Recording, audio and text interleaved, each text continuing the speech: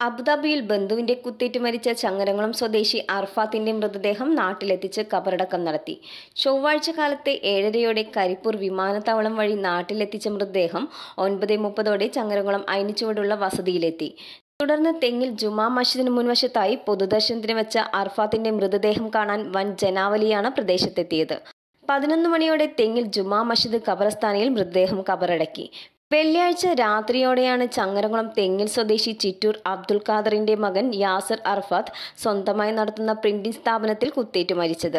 യാസർ അർഫാത്ത് തന്നെ തന്റെ പ്രിന്റിംഗ് സ്ഥാപനത്തിലേക്ക് വിസയെടുത്ത് ജോലിക്കായി കൊണ്ടുവന്ന ബന്ധുവായ പെരുമ്പടപ്പ് സ്വദേശിയായ ഗസനിയാണ് യാസറിനെ കുത്തിക്കൊലപ്പെടുത്തിയത്.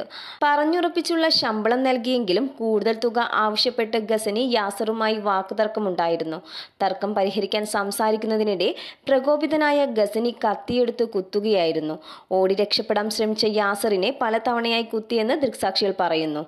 സുഹൃത്തുക്കൾ ചേർന്ന് ആശുപത്രിയിൽ എത്തിച്ചെങ്കിലും യാസറിന്റെ ജീവൻ രക്ഷിക്കാനായില്ല. സംഭവ സ്ഥലത്ത് നിന്ന് രക്ഷപ്പെടാൻ ശ്രമിച്ച പ്രതിയെ അബുദാബി പോലീസ് അറസ്റ്റ് ചെയ്തു. Reporter C